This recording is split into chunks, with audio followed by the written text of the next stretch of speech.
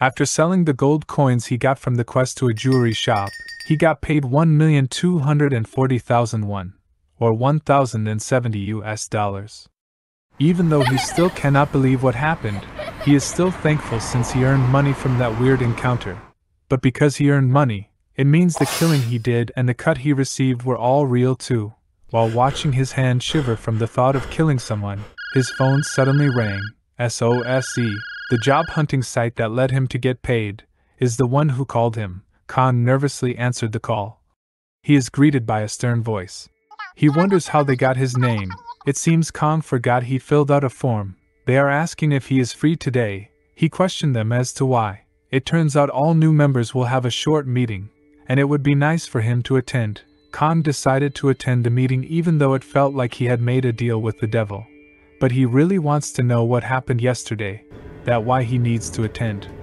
After arriving at the sixth floor where the meeting will be held, Khan is greeted by a pink haired woman. He clarifies that this is the office of SOSE. The girl assures him that he is in the right place and asks him to follow her to the conference room. Based on the voice of the girl, Khan surmised that she was the one he was talking to over the phone.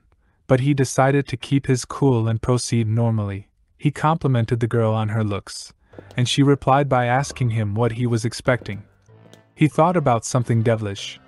The girl said that who would wear something mischievous like that, adding that it is not stylish at all. Khan got surprised because it looks like she read his mind. He did not get a chance to think more about it because they were already in front of the conference room. But before Khan entered, she told him that the gold he sold to the jewelry shop was a tad bit undervalued. Khan was surprised because this happened just an hour ago, and that they are capable of sending people to other dimensions, which makes reading, People's minds and tracking what they do on a daily basis is a piece of cake already. The girl shoved Kong into the room, where he is met with a girl who is the site administrator and CEO of SOSE and looks like a celebrity. Khan said his greetings and wants to clarify if what he did is similar to selling his soul in their transaction, she said. That he is not entirely wrong with this assumption, and that everything he went through is real in a certain degree but she added that what happened yesterday is just a tutorial of what is about to come. Given that he is only a beginner, she can only provide this much information. She also said that he should take what happened yesterday as a learning experience, and that it is just a dry run of what new employees are going to undergo. Khan asked for clarifications about what she said on top of asking if he got picked out randomly. The girl assures Kong that they do not approach people like that. She also added all the misfortune that fell to Kong, such as the death of his friend listed on his name and the unfortunate accident that happened to his mother that put her into a coma, adding more fees to pay. They knew Kong through and through, which alarmed him very much. Kong felt unsafe for his family, but the CEO reassured him that they would be safe. He asked her again what she wanted from him. Ms. Wu simply wants him to go back to the fantasy world. Kong finds their motives unreasonable and questions if he should still follow their order. Miss Wu denied his assumptions and says she does not seek to manipulate him whatsoever. She mentions some words to Kong, asking if he is familiar with them. The CEO goes on saying that Parsons' quest was a low tier F and that joining the siege is enough to complete the mission, but noticing that Kong went further to loot the castle, which added up to his rewards, and also getting recognition from the higher ups, allowing him to get a bonus from his rewards. Kong suddenly remembers his previous actions Miss Wu says that he has a delicate mind, but given the fact that it was the reason that led to his decision to sign that contract, Miss Wu added that a client would be more gratified if he or she were to successfully complete the quest. Khan had a feeling that if he could have about 1,600,001 per gold coin. The CEO went on saying it only depends on the client's payout, and that being a millionaire overnight is also possible based on his accountability. He asks if there are any penalties after failing the mission or dying, and Miss Wu says that if he dies, there will be no issues whatsoever. Kong is relieved, however, she told him that he can't make excuses because he'll only damage his profile during the process, and that their clients are as valuable as the one he possesses. Adding to that, if he fails to complete the mission, his level will be in danger and could possibly go down. Kong asked if that is all. Miss Wu follows along with a question about the percentage of the reward in his tutorial, Kong said that it was 1%, and she asked if it was 100% instead. he was surprised with the thought that he could have won over 100 million won, or approximately $86,000. Miss Wu goes on to say that the reward is dependent on the client's level of the mission and that he will be rewarded handsomely if he succeeds. This gets Kong excited while he says to her that he could have gotten 100 million won had he been at a higher level. But before doing anything else, he snaps and stops for a moment. Kong stopped and thought about what happened yesterday. And if he is just going to forget that it happened, he hates himself because that much money is enough to sway his choices. Miss Wu told Kong that thinking about it even further will not solve anything. And if he looks at the bigger picture, Parsons was able to go home in one piece because of him she told him to look at things in a different perspective.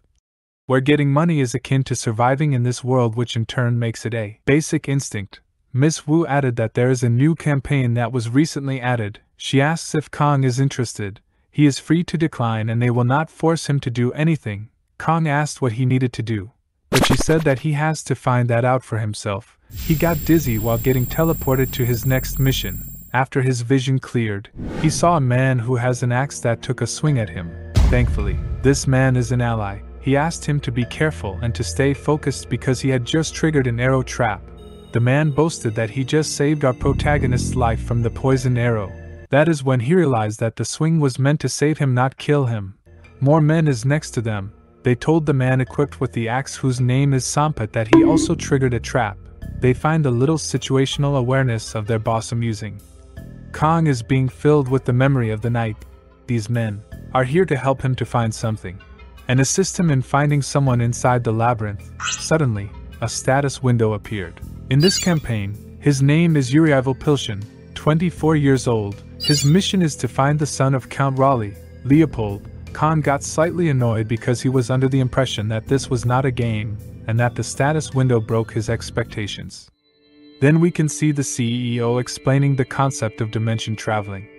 She explained that Mr. Kong will still look like him to his eyes, but to those around him they will see who the original person was.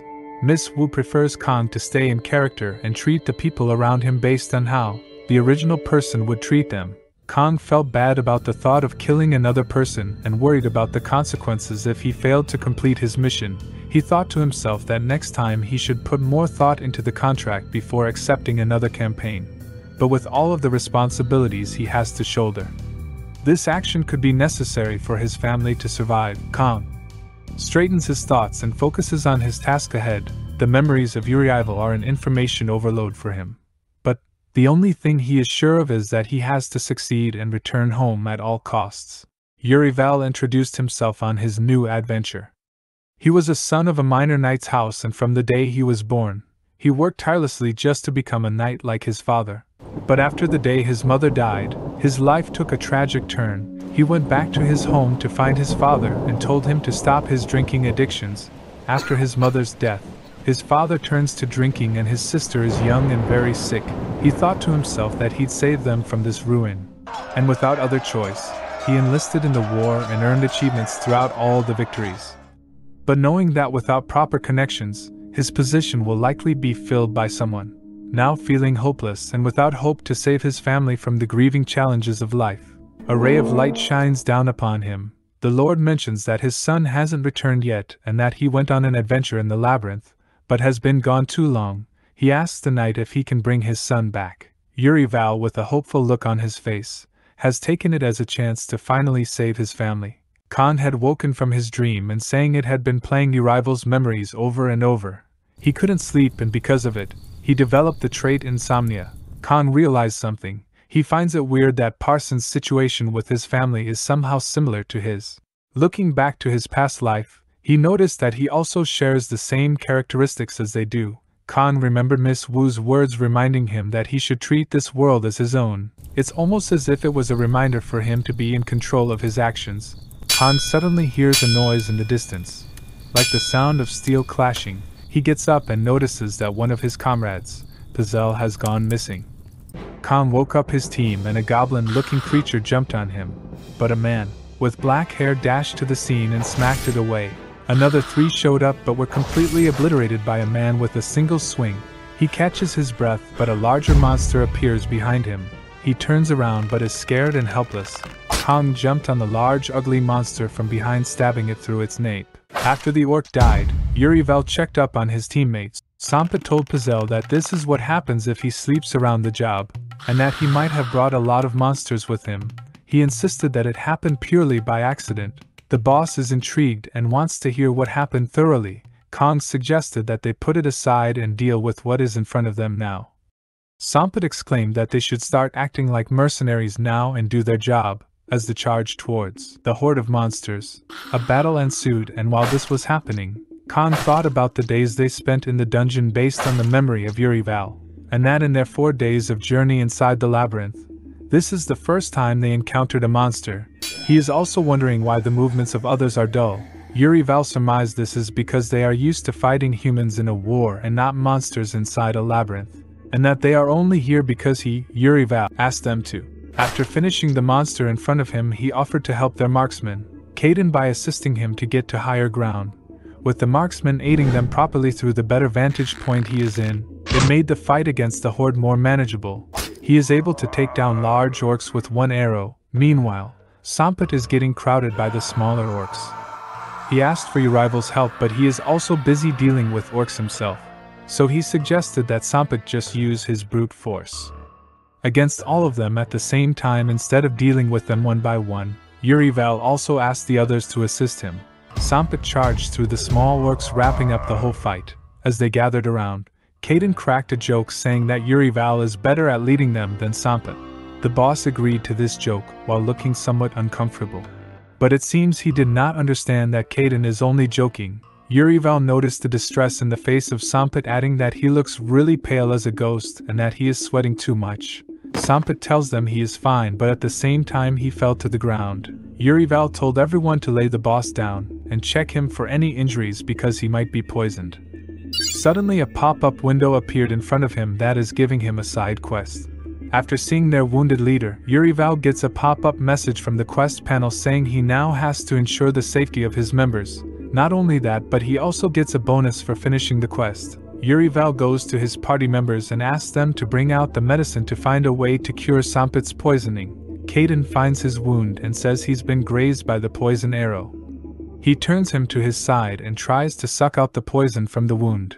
Urival immediately tells him to stop and that he'll also put himself in the same position as Sompet. Urival tells them to hold him down, then puts his hands near the wound and gently presses on it in order to squeeze out the poison. Sompet shouts in pain. Urival tells him to take deep breaths and tells him that he'll only be in more pain if he keeps moving around. A man with the medicine and alcohol brought them to Urival. But he interjected and said that the alcohol would only cause the poison to speed up its process of spreading. He instead asked for the canteen to better clean the wound. The two looked with regret in their past decisions, saying that their methods were the cause of the previous deaths. Urival recalls a few details about treating poison, and now he has to administer an antidote. But he stops for a moment and feels that something might be off. He remembers a memory from a moment when he used the wrong medicine and that his rush to things led to the death of his comrade. Caden asks Urival to make the antidote before Sompet dies, he thinks about it for a moment, and asks the two of them if the bottle he's using is for the poison or venom. They looked unsure at first, but Caden said he only bought it because it was cheap. Urival keeps the bottle for now and looks in the bag to find something else. He finds a medicinal herb that he says it has antibacterial properties and decides to use it instead. He places it on Sompet's wound and tells Caden it's okay to lift him up. Urival tells him that he's going to bandage him and bear with the pain a little longer. After that, they laid him down and left him to rest until he recovered. But knowing their leader, he'll quickly get back up on his feet in no time. The two laughed it off. Urival calls Pazel and asks him how they ended up in this situation. The other two also asked him what he did and why he was awake in the middle of the night. Pazel took out his map and showed it to his party. He told them that the direction to the stairs that lead to their next destination was nowhere to be found, and says that he's been looking all over for it. They got lost looking for stairs, and the guide who is tasked to lead them the way is confused trying to make something out of the map. He stepped on a pressure plate, activating several traps. It made him run for his life. He ran as fast as he could to escape, which exhausted him. That is when he crossed paths with the horde. After a short silence, the others beat Pazel up since they almost died because of his mistake. Yurival suggested that he try again, but the two of them will go this time. As the two of them left, they approached the area where the stairs is supposed to be. Puzel suggested that maybe the map is wrong and the cartographer got confused since it's a labyrinth map. Yurivel asked him where did he got the map. They got it along with the supplies provided by Count Raleigh. There has to be a stairs here going down further according to the map. But there is nothing. Puzel checked a lot of times already humoring Yurival by saying that the stairs could not have grown legs and walked away. Suddenly, Khan noticed something. The floor is supposed to be worn out from all the travelers and adventurers that have walked across it. This issue is only here where the stairs is supposed to be, and the stalagmites are not pointy. Yurival told him to look up, and there's the stairs they are looking for. The surprised Puzel exclaimed that the stairs is on the ceiling, and Yurival thought that this is obviously done using magic. Kong reviewed the memories of Yurival looking for a way to dispel magic. He threw the sword to the ceiling which dispelled the magic and now the stairs is somewhere they can access. Puzel cannot believe that they got lost just because of magic. Yurival sums up everything he knows. Count Raleigh provided the map and he is sure that his son is in this dungeon, leading him to believe that the son was not out adventuring in the dungeon and that he might have been tasked by his father to go somewhere inside before leaving. He recalled the memory from when he talked with the count that even if his child is dead, you should at least retrieve the signet ring. Yurival thought that for the Count, the retrieval of the signet ring is more important than his son coming back. He now has doubts about this mission. And he felt like things were not going the way he thought it would. Thanks for staying in tune with our manga recap. Don't forget to like, subscribe, and hit the bell button for more updates from our content.